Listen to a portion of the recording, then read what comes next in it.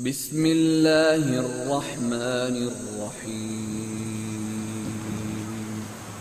अल्लाह के नाम से जो बड़ा मेहरबान निहायत रहम वाला है।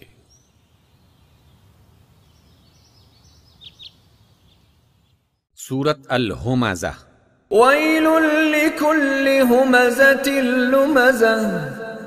तबाही है हर उस शख्स के लिए जो लोगों पर तान और पीठ पीछे बुराइयाँ करता है।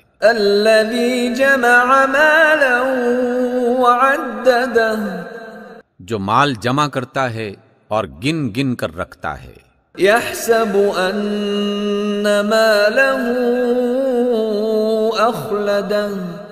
वो समझता है कि उसके माल ने उसे लाफानी बना दिया है। कल्ला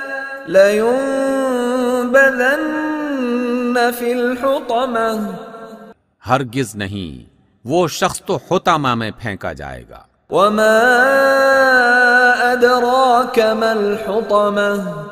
और तुम क्या जानो कि होतामा क्या है? वो अल्लाह की खूब भड़काई हुई आग है।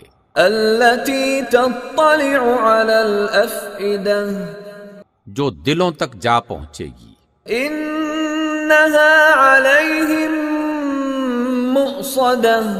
और वो उसमें बंद कर दिए जाएँगे।